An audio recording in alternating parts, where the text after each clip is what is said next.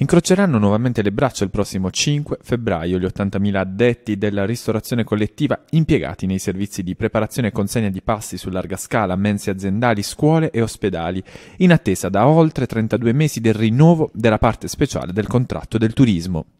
Eh, come dicevo ehm, la situazione è molto delicata, eh, nel nostro settore noi abbiamo circa 2 milioni di lavoratori che stanno aspettando i rinnovi contrattuali. Il 5 di febbraio le segreterie nazionali di CGL Cesarevoli hanno proclamato uno sciopero generale perché da ben 32 mesi che stiamo aspettando il rinnovo eh, della ristorazione collettiva, scuole, mense, dove vanno a, a mangiare i, nostri ragazzi i, nelle scuole, voglio dire. Stiamo parlando di salari eh, minimi che purtroppo anche alla luce eh, delle problematiche dei cambi di appalto non riusciamo eh, a chiudere questo contratto del settore della ristorazione.